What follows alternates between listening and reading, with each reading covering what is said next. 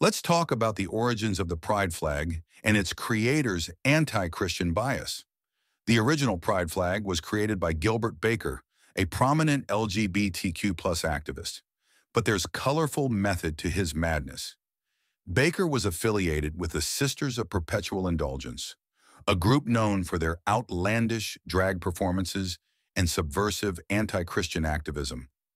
The sisters are infamous for their provocative actions, including publicly desecrating Christian symbols, such as nun habits and the Stations of the Cross. They indulge in open Christian religious provocation. While some spin this as a critique of institutional religion, it is blatantly a mockery of Christian religion, specifically Catholicism. It is oddly noticeable how they have no energy to mock Islam and Muhammad. It is a calculated offensive display. It highlights LGBTQ plus activism and their intolerance of Christianity. Baker expressed Christ hatred and mockery his entire life, including protesting at the 1990 International Lesbian and Gay Freedom Day Parade as Pink Jesus.